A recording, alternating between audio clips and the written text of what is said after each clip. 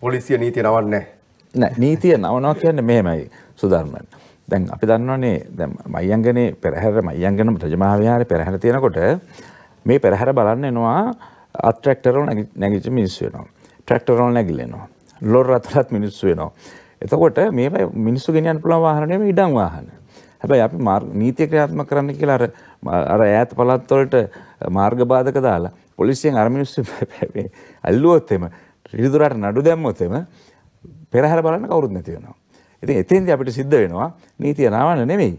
නමුත් ඒ ප්‍රදේශයට ගැලපෙන ආකාරයට යම් කිසි ආකාරයකට ඒ නීතිය අන් සානුකම්පික පැත්තක්. එතෙන්දී අපිට සිද්ධ වෙනවා ඒ ප්‍රදේශයට ගැලපෙන ආකාර නීති ක්‍රියාත්මක කරන්න. එතෙන්දී අදහස් වෙන්නේ නැහැ. නීති කඩන්නත් බෑ, නවන්නත් බෑ.